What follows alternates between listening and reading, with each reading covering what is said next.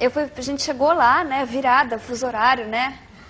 E eu fui fazer uma massagem no primeiro dia. Chamei uma massagista, né? As orientais são as melhores e tal. A moça foi fazer e ela não falava inglês. E eu, obviamente, não falo japonês.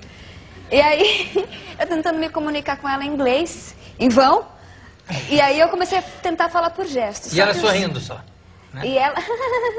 Tudo pra ela assim. ela chegou, Põe a mão assim. Aí eu queria perguntar se era pra eu ficar de frente ou de bruços, virar de bruços, sabe? E aí eu fazia o gesto, né? Up or down. Eu fazia em inglês. Aí, up or down. Aí eu tentei explicar pra ela que eu ia virar assim, de costas, e falei. Mas peraí, "Ok." sem querer te interromper, já interrompendo. Não era mais fácil você virar de costas ou virar de frente? É, então, mas aí teve esse problema. Eu É que a gente deitei. tinha ido pra Portugal antes. Ah, Não, Mas aí? Aí eu deitei e falei em inglês pra ela, vou ficar assim, ok? Quando eu fiz assim, pra ela, ela fez...